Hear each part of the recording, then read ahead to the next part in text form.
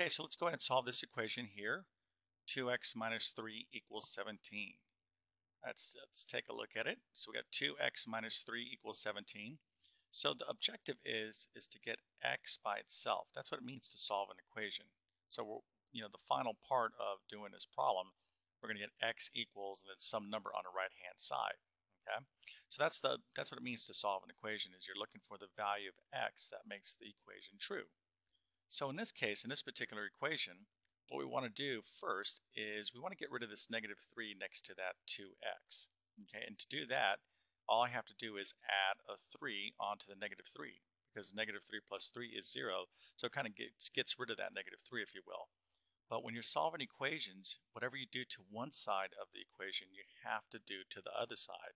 So what did I do here? I added a 3 on the left-hand side, so I have to add a 3 on the right-hand side. Okay, so you want to do these steps exactly like I'm doing them here.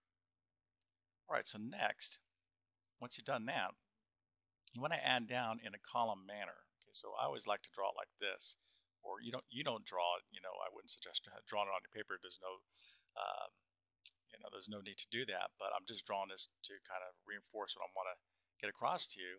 Is you're going to be adding down in a column format. So this is going to be 2x plus nothing, right? Because there's nothing under the 2x is just going to be 2x, right? 2x plus nothing is 2x. So I'll write that right here. And then negative 3 plus 3 or minus 3 uh, plus a positive 3 is 0. And that's what I wanted. I wanted to get rid of that negative 3 on the left-hand side. So we don't have to write anything there because it's 0. I'm going to put my equal sign. And then 17 plus 3 is 20.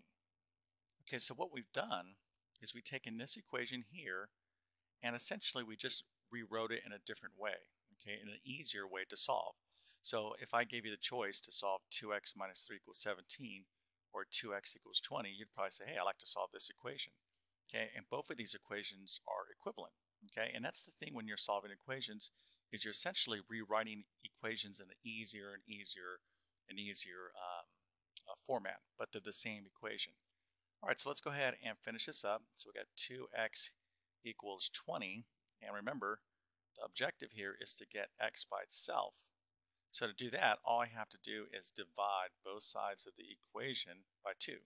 Um, well, let me just go ahead and just write that, okay? So we, are dividing both sides of the equation by 2, but why? Okay, because 2 divided by 2 is 1, okay? And 1x is, the way we write 1x is simply x. So we, we have the left-hand side exactly how we want it. But remember, because I divided by um, the left-hand side of the equation by 2, I also have to divide the right-hand side of the equation by 2. And that's the thing to keep in mind. Whatever you do to one side of an equation, when you're solving it, you have to do to, uh, to the other side. So we get 20 divided by 2 is 10, and that is your solution. Okay, so if you need more help with algebra or mathematics in general, come on over to our site, algebratesthelper.com.